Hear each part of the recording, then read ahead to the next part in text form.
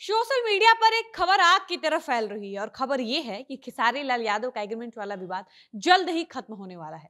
जी हाँ खिसारी लाल यादव और global music junction के बीच आपस में जो भी विवाद चल रहा है, वो पूरा मामला बहुत जल्द अब समाप्त होने वाला है। खिसारी लाल यादव को दो साल के लिए जिस प्रकार से बाध्य किया गया, वो बंधन भी अब समाप्त होने वाला है और अब खिसारी लाल यादव किसी भी म्यूज़िक कंपनी से अपना गाना ला सकते हैं। ये हम इसलिए भी कह पा रहे हैं क्योंकि पिछले दो तीन दिन से सोशल मीडिया पर इस तरह की बातें चल रही हैं कि सारी लाल यादव के तमाम करीबी यूट्यूबर्स, उनकी तरफ़ से ये दावा किया जा रहा है कि बहुत जल्द खुशखबरी सामने आ सकती है।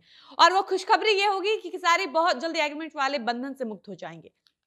हालाँकि खिसारी लाल यादव ने अपनी तरफ़ से कभी ये सारी बातें विवाद के बाद आकर नहीं कही और ना ही वो कभी कहते हैं खिसारी तो हमेशा यही बात कहते हैं कि मेरे गाने कब तक आएँगे, कब तक नहीं आएँगे, ये हमको नहीं पता। क्योंकि हम अपनी एक गलती की वजह से बहुत बुरी तरह से फंस चुके हैं और उस दलदल से कब तक बाहर निकलेंगे, ये हम भी नहीं जानते हैं। लेकिन मेरे पास एक विकल्प है और वो विकल्प है फ़िल्म।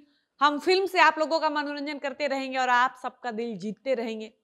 बाकी हम आपको आगे की वीडियो में विस्तार से समझाते हैं कि आखिर हम ऐसा क्यों कह रहे हैं कि किसारी कैबिनेट वाला विवाद बहुत जल्दी शट आउट होने वाला है।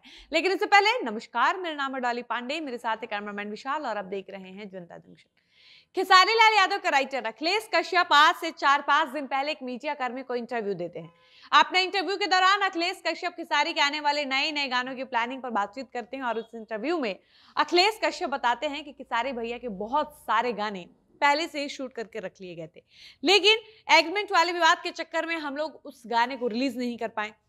इसके अलावा खेसारी भैया के ऐसे और भी गाने हैं जो पहले से रिकॉर्डेड हैं, लेकिन विवाद की वजह से उन गानों को हम रिलीज़ नहीं कर पा रहे लेकिन बहुत जल्द ही सब कुछ ठीक होने वाला है। अखिलेश कश्यप कहते हैं कि ये विवाद ज़्यादा दिन तक नहीं चल पाएगा, क्योंकि जिन लोगों से विवाद हुआ है, वो भी हमारे अपने लोग हैं। वो लोग भी दिल के अच्छे हैं। सारी बात बस ईगो के चक्कर में फंसी है।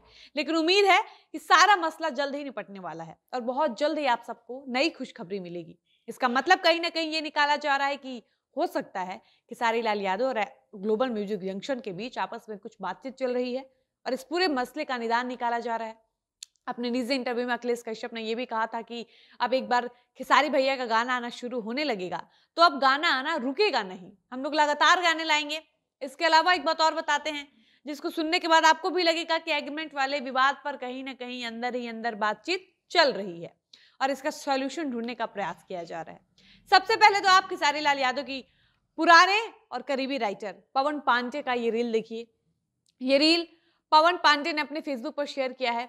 स्क्रीन पर आपको किसारी लाल यादव की तस्वीर दिख रही होगी। जब आप पवन पांडे के फेसबुक पर जाकर देखिएगा तो इस तस्वीर पर पवन पांडे ने गाना लगाया है। उस गाने के लिए पवन पांडे लिखते हैं कि आ, जल्द एक नया वर्जन आवत एंगल म्यूज़िक से। धन्यवाद।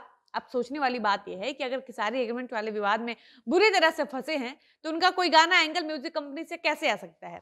इसका मतलब कि कहीं ना कहीं अंदर ही अंदर एग्रीमेंट वाला विवाद धीरे धीरे खत्म हो रहा है और जब ये मामला पूरी तरह से खत्म हो जाएगा और उसके बाद खिसारी अपना गाना किसी भी कंपनी से ला सकते हैं।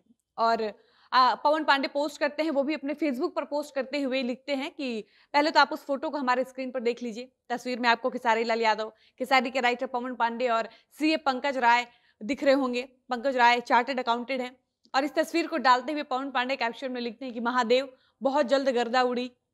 Love you Khesari Lal Yadav, Pankaj Rai. अब ये सब देखने के बाद कहीं ना कहीं ये सबको लगने लगा है कि खिसारी और उनकी टीम अपने स्तर से पूरी कोशिश कर रही है कि खिसारी जल्द से जल्द बंधन मुक्त हो जाए, क्योंकि कहीं ना कहीं इस बात की चर्चा है कि खिसारी लाल यादव इन दिनों दिल्ली में है।